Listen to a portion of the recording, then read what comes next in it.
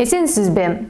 Күндүн орунтуу жана урунтуу окуяларын баяндаган айтмакчы программасы назарыңыздарда аны мен айпери шенкулова алып барам бизден алыстабаңыз. Жалгыз бой эне балдарын өзүнүн атына жаздырып алган чуркап жаңылып кайра кайра добуш берген депутаттар.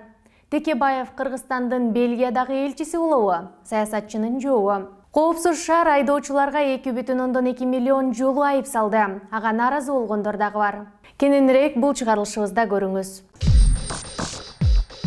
жалгыз бой эне балдарын өзүнүн атына жаздырып алган. Жазуучу жана жарандык активист алтын капалова үч баласын өзүнүн атына жаздырып туулгандыгы тууралуу күбөлүктөрүн алмаштырган. Балдар документтери боюнча алтын иш жана алтын авна болуп калышты. Каттоо кызматынын пикири боюнча бул мыйзам бузгандык а балким мыйзамды өзгөртүүгө кезек келди. Подает на меня в суд просто потому что э, я вписала свое имя в их свидетельство. Да? И я считаю, что мы должны сейчас не э, старые законы грызть, да, чтобы доказать мою вину, а действовать в интересах э, женщин и действительно работать на то, чтобы э, права были одинаковые. Мамлекеттік қатты қызматы Алтын Қапалованы сотқа берді. Ал үш баласының тулғандығы туралы көлігінді атасының аты жазыла тұрған жерге өзінің атын жаздырған. Бұл туралы ал Facebook барақшасына білдірген. Да начнется матриархат ведомство түшүндүрүп бергенине караганда бул жарандык абалдын актыларды тууралуу мыйзамды бузат калктык каттоо кызматы капалованын жашы жете элек балдардын свердловск жарандык абалдын актыларды каттоо тарабынан жүргүзүлгөн жарандардын атын өзгөртүү жөнүндөгү мамлекеттик каттоого алуунун мыйзамдуу болушу текшерилүүдө деп ведомство билдирди. Жалгыз бой энелер баласынан кабар албаган ага каралашпаган кайдыгер атанын аты балага эмне кереги бар деген принцип менен ушул кадамга барышат чуркап жаңылып кайра кайра добуш берген депутаттар. Жогорку кеңештин депутаттары электрондук түрдө добуш бере баштады.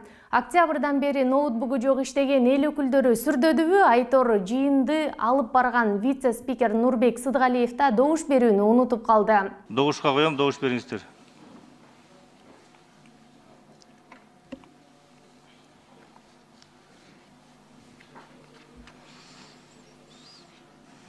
деп кайрадан добушка коем кечирип коюңуздар. Алаксып калыптырмын мындан башка себептер менен кайра кайра добуш берүүгө аргасыз болушту жаңы ноутбуктар коюулары менен бирөөнүн ордуна добуш берүү ыкмасы кайра жанданды кээ бир парламентарийлер үч төрт кесиптеши үчүн добуш бергенин көрүүгө болот. Ал эми ортодо турган урмат самаев тогуз депутаттын ордуна кнопка басып жатты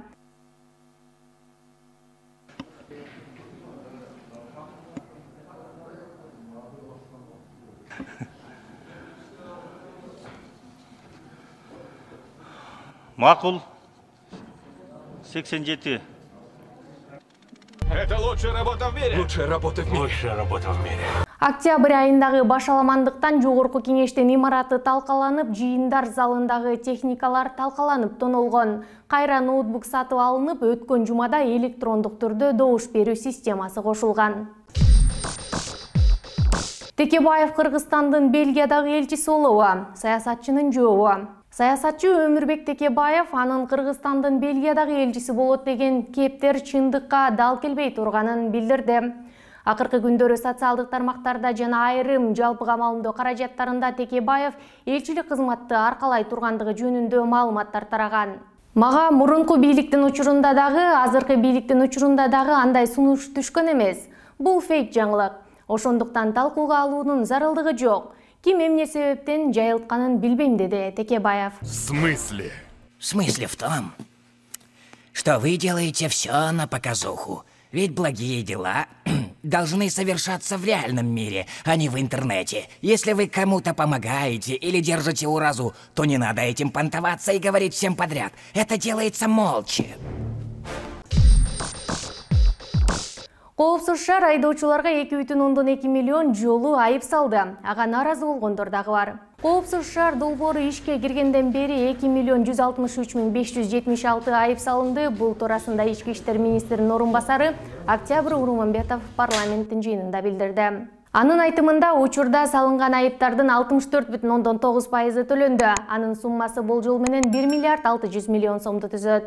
Төлөгөн айыптардын эсебинен камераларды орноткон вега компаниясына төрт жүз отуз беш миллион сом берилет. Калганы бюджетке которулат. Белгилей кетсек коопсуз шаар долбоору эки миң он тогузунчу жылдын төртүнчү мартында ишке киришкен. Видеобуз жакса лайк басып комментарий жазганды унутпаңыздар. Бизди бизон kgz деп издеп баардык социалдык тармактардан таба аласыздар